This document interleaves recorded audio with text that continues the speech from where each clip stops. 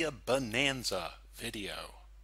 All four RoboLinux Raptor 8.3 versions, good through 2020, also run Windows XP 7 and Windows 10 inside them completely virus free.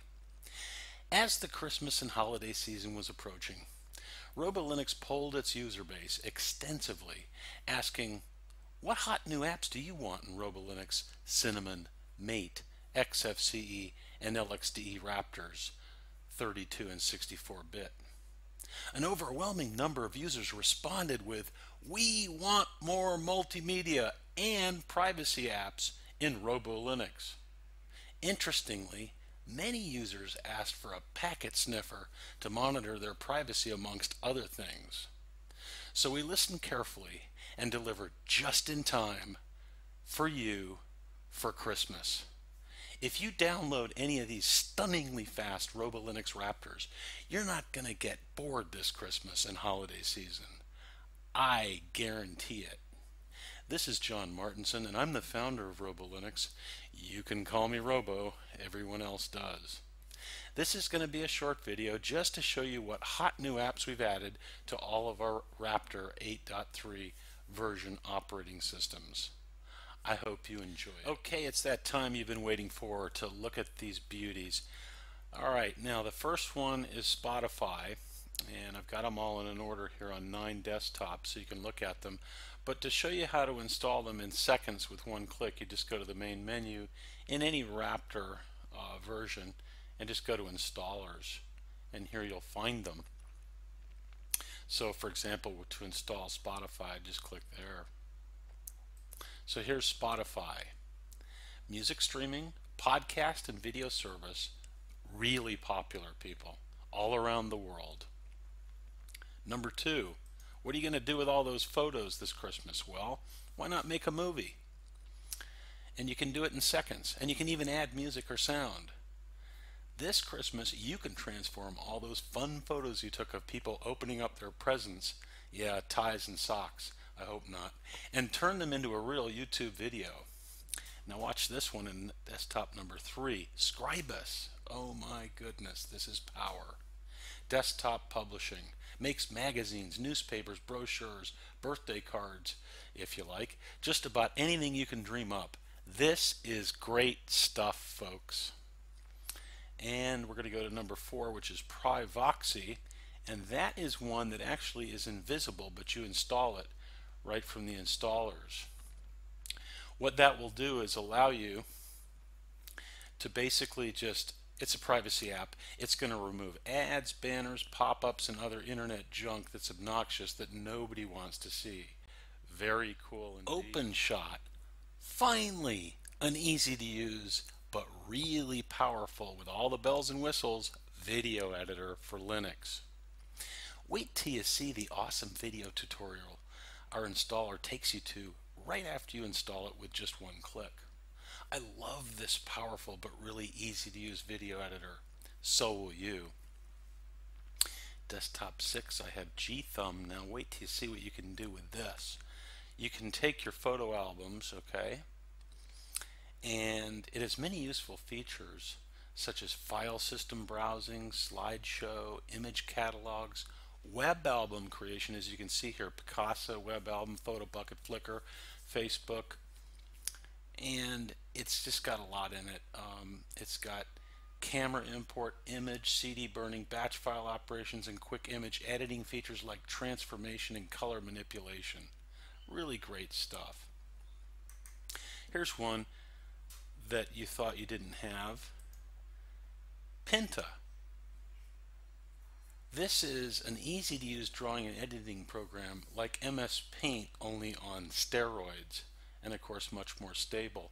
Don't worry, it's easier to use than Paint.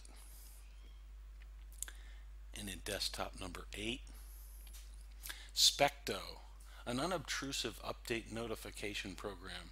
Hey, want to know when any web page changes on the web? Well, now you can in an instant. Look at this. Any website you want, you can set the refresh interval to whatever number of hours, type in the URL, You can set an error margin. I guess sometimes there's some uh, false positives, but you'll get the hang of it. It's wonderful. And finally, well, not yet finally because we have a number 10, but in desktop number 9, guess what? This is going to really just blow your mind. Wireshark. A powerful network packet analyzer and sniffer. Are you interested in seeing what the big internet companies are doing with your privacy? I won't mention any names. You know who they are anyway. Dig deeper into this app and you are going to see some really cool stuff.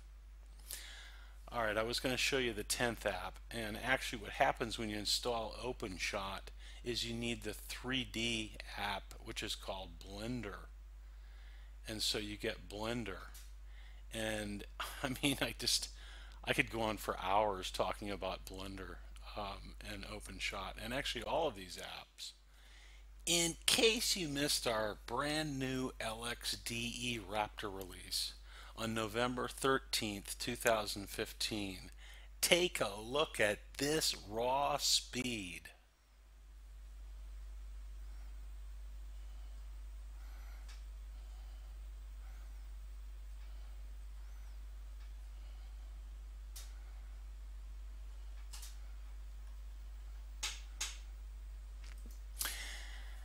That was incredibly fast, wasn't it? Maybe you're wondering how we made RoboLinux LXDE Raptor so fast. Actually, this is the, it's radically fast. It's the fastest RoboLinux Raptor we've ever built, okay? I told you I'd tell you how we do this. Well, actually it's pretty simple. It's because we built RoboLinux with raw Debian source code with no bloat. This is RoboLinux's 15th and 16th operating system we've built in the last year designed so that Windows VMs, and in particular this one really, I mean it just scorches fast with VMs, but it allows uh, VMs or virtual machines to run as fast as possible. People, this is an enormous amount of work. On May 1st, 2015, RoboLinux created the Open Source Software Foundation, ROSSF in order to significantly improve Linux desktop software applications written by Linux third-party developers who have no funding but really want to polish their apps just for you. We do require all users who download any RoboLinux operating system to join as a member for a teeny tiny donation. Every Linux user can afford to join the ROSSF. Unfortunately, most users have been complacent about this really awesome opportunity that directly benefits them by improving the software apps they use for free in Linux. Therefore, once again, I urge you to join the ROSSF. It is strictly for your benefit, not for ours. It's really actually pretty expensive for us to, to manage it. You can read all about the RoboLinux Open Source Software Foundation on our About web page right here. As you can see, we provide monthly audits so you can be sure that this is 100% legitimate foundation. Thank you for your time watching this RoboLinux video. I hope you have a Merry Christmas and a Happy New Year. May God bless you and your family.